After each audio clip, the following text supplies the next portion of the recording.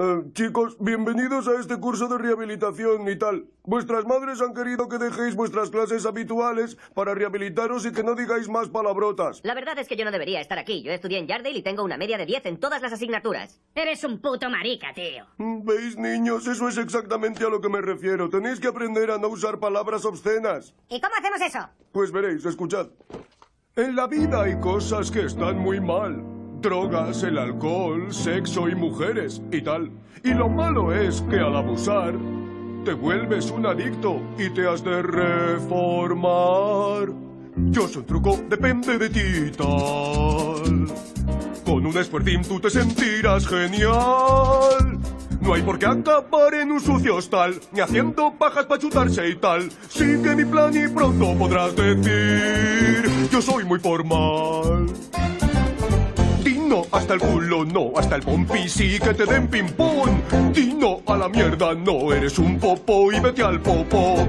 Di no, puta sí que no, prostitución es vieja profesión.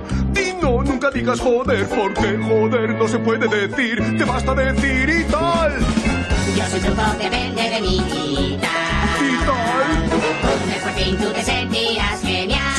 genial, no hay por qué acabar en un sucio hostal, y haciendo pajas para chutarse y tal. Sigue mi plan y pronto podrás decir, yo soy muy formal. Y no, Hasta el culo, no. Hasta el pompi sí. Que te den ping pong. y no, A la mierda, no. Eres un poco. Cállate al popo. Prostitución es vieja profesión. Nunca digas joder, porque joder no se puede decir. Porque joder ya te sobra decir. No digas joder, no, no digas joder, no,